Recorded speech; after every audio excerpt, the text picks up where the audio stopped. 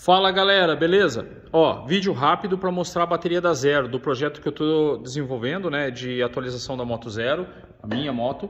Então eu tirei aquele ali é o case principal.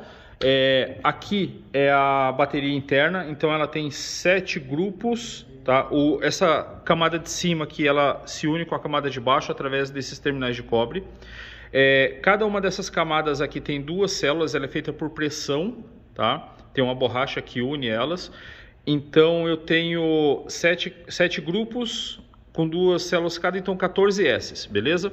Ela é unida através, é, a energia vem através dessa malha metálica aqui que vem com com pressão, borracha, né? Então traz toda a energia para cá e vai unindo os S.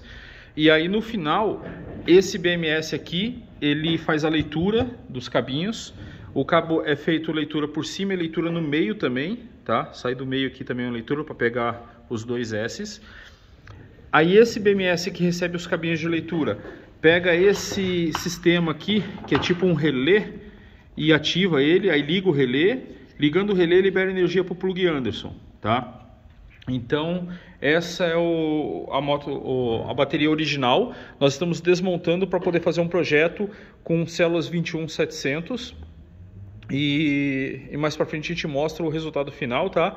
Mas eu não vou, não vou mostrar os detalhes desmontando as células aqui nem nada, mas só queria mostrar para vocês esse, esse relato de como é o esqueleto aqui da bateria por dentro, beleza?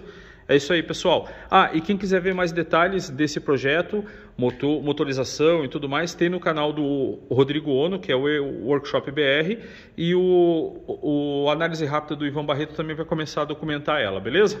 É isso aí, pessoal. Abraço. Ah, o canal do Sherman também vai gravar depois. É isso aí. Abraço.